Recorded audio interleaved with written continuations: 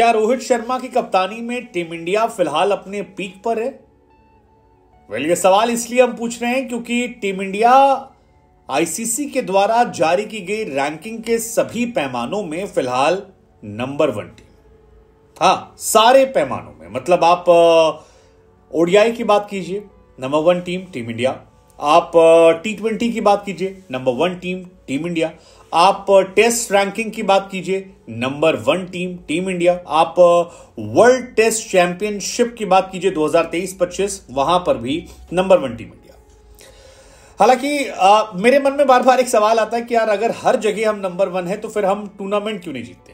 अब इसकी एक वजह तो यह है कि वर्ल्ड टेस्ट चैंपियनशिप हम जीत जाते अगर वो एशिया में होती क्योंकि अश्विन जडेजा हमारे पीक प्लेयर हैं और जब इंग्लैंड या ऑस्ट्रेलिया न्यूजीलैंड में वर्ल्ड टेस्ट चैंपियनशिप होती है तो वहाँ पर हमारे कंपैरिजन में दूसरी टीमों को थोड़ा एज मिल जाता है। इस वजह से वो जीत जाते हैं। क्योंकि उनके घर का मैच होता है हमारे घर में मैच होता तो शायद हम भी जीत जाते और वर्ल्ड टेस्ट चैंपियनशिप हमारे पास होती ओडियाई वर्ल्ड कप हमें जीतना चाहिए था। वो हमारा बनता था उसका गम उसका दुख आ, हमें रहेगा। और टी ट्वेंटी में मुझे अभी भी लगता है कि बीती दो जो टीम गई थी वो टीम कहीं ना कहीं आ, एक क्योस में गई थी और आ, वो डिजर्व नहीं करती थी जो दो टी ट्वेंटी वर्ल्ड कप हारे। उन्नीस रनआउट धोनी का ना होता जीता जीता मैच था वो हम हार गए थे और उस दिन भी थोड़ी सी बारिश किस्मत खराब होना लापरवाही और हमारा हार जाना।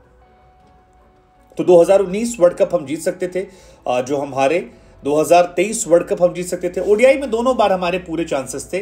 टी ट्वेंटी वर्ल्ड कप थोड़े हम कमज़ोर रहे इस बार देखते हैं कि क्या होता है। लेकिन फ़िलहाल अगर आप इंडिया क्रिकेट टीम के फ़ैन हैं तो आपको खुश होने की ज़रूरत है, क्योंकि टीम इंडिया रोहित शर्मा की अगुवाई में फ़िलहाल सारी रैंकिंग को फोड़ चुकी है और test ODI T twenty W हर जगह पर हम टॉप कर रहे हैं। अच्छी बात यह कि लगातार सबसे ज़्यादा जीत की अगर बात की जाए तो टीम इंडिया सत्रह सीरीज़ जीत चुकी है घर पर। जो काबिल तारीफ़ है और किसी भी देश ने कभी भी क्रिकेट के इतिहास में इतनी ज़्यादा टेस्ट सीरीज़ नहीं जीती घर पर। मतलब ऑस्ट्रेलिया का दो मरतबा पीक रहा है। एक मरतबा 1994 से लेकर 2001 तक था, जब ऑस्ट्रेलिया ने 10 सीरीज़ जीती थी। और उसके बाद ऑस्ट्रेलिया ने 2004 से लेकर 2008 के बीच में भी एक बार अपना दबदबा दिखाया था, जब उन्होंने बैक टू बैक 10 सीरीज़ जीती थी। वेस्ट इंडीज, जो पुरानी वाली थी 76 टू 86 उसने लगातार आठ सीरीज़ घर पर जीती थी। हालाँकि वो वेस्ट इंडीज भी अपने जमाने में बेस्ट टीम थी। और न्यूजीलैंड जो है, वो भी 2017 से 21 के बीच में आठ सीरीज़ लगातार घर पर जीती थी।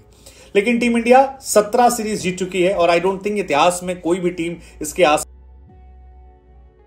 हालाँकि सत्रह सीरीज़ में अश्विन जडेजा की भी भूमिका बहुत है। मतलब यार 2010 से 2024 में बीते 14 सालों में ये दोनों प्लेयर टीम इंडिया की रीढ़ की हड्डी बने हुए हैं और लगातार मैचेस ये आपको जिता रहे हैं।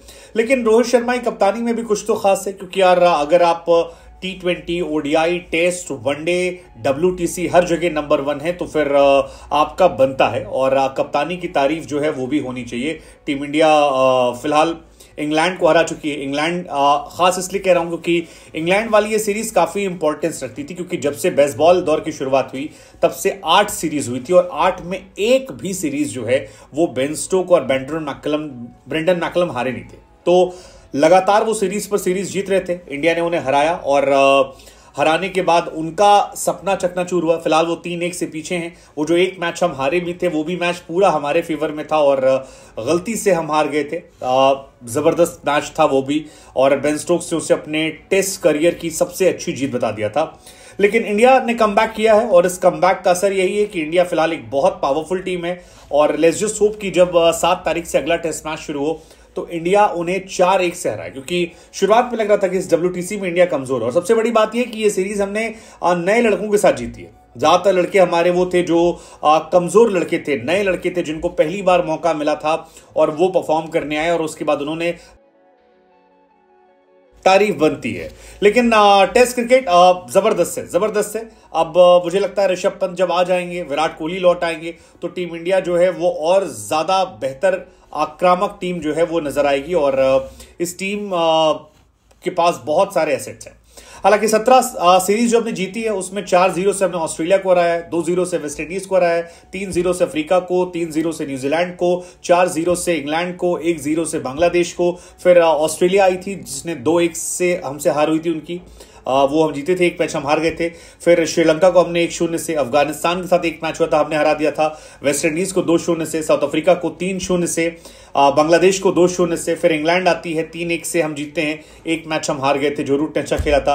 न्यूजीलैंड को एक शून्य से, श्रीलंका को दो शून्य से, ऑस्ट्रेलिया को दो एक से और इंग्लैंड को फ़िलहाल तीन एक से हमने ये सीरीज़ हराकर अपना दबदबा जो है, वो सत्रह सालों से कायम रखा है। सत्रह सालों से हम टॉप पर है। मुझे लगता है कि इस बार भी जिस हिसाब से इंडिया खेल रही है टेस्ट में और इंग्लैंड जैसी बड़ी टीम को हमने हराया है हमारा चांसेस बहुत ज़्यादा हमारे हैं कि हम फिर क्वालिफाई करेंगे और हम जाएँगे। आ, हम डब्ल्यूटीसी का फाइनल खेलेंगे। लेकिन फिर वही समस्या कि इस बार फाइनल फिर वहाँ पर है बाहर विदेशों में इंग्लैंड या कहीं पर है। लेट्स जस्ट होप कि हम वहाँ जाएँ परफॉर्म करें और एक बार फिर हम जलवा जो है जलाल करें और इस बार जीत कर यार। दो बड़े मौके हैं रोहित शर्मा के पास आईसीसी ट्रॉफी के लिए।